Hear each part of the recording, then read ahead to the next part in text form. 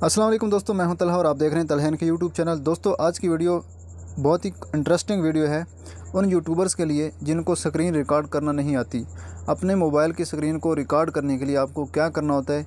एक एप्लीकेशन है, उसको इंस्टॉल करना होता है और इसी को इस्तेमाल करना होता है। तो सबसे पहले आपको क्या करना है? आपको प्ले स्टोर के अंदर चले जाना है, ठीक है? और यहाँ पर आपको लिखना है स्क्रीन रिकॉर्डर ऐप तो यहाँ पर जो फ़र्स्ट वाली ऐप है स्क्रीन रिकॉर्डर आप देख लें इन शॉर्ट की, इसको आपने इंस्टॉल कर लेना है। मैं ऑलरेडी कर चुका हूँ तो इसलिए मैं यहाँ पे ओपन पे क्लिक करता हूँ।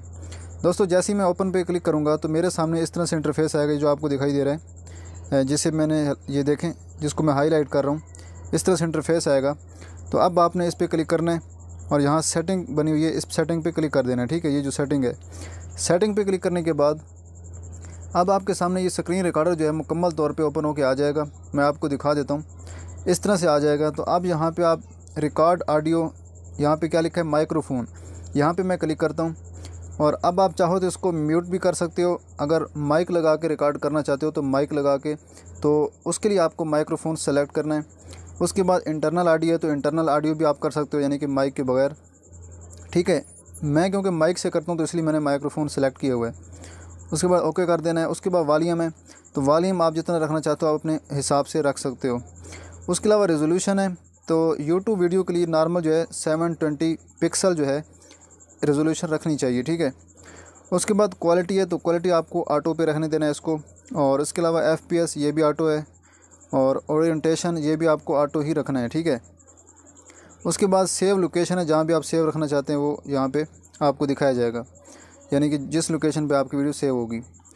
तो उसके अलावा यहाँ पे हम नीचे आते हैं। यहाँ पे काउंट डाउन बिफोर स्टार्ट यानी कि स्क्रीन रिकॉर्डिंग स्टार्ट करने से पहले आपको कितने टाइम चाहिए?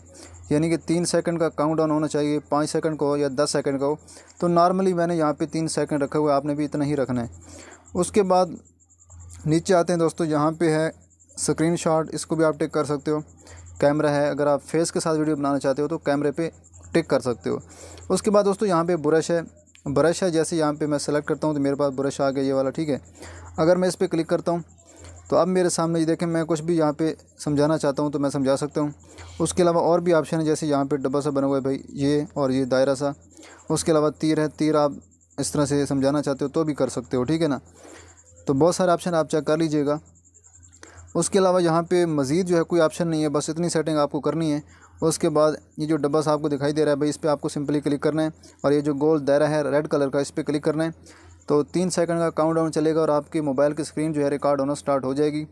जब रिकॉर्ड हो जाए, उसके बाद अगेन इस पर क्लिक करो और यहाँ पे स्टॉप का एक बटन होगा, उस स्टॉप पे आप क्लिक कर दो तो आपकी मोबाइल की स्क्रीन जो है वो रिकॉर्ड हो जाएगी। ठीक है?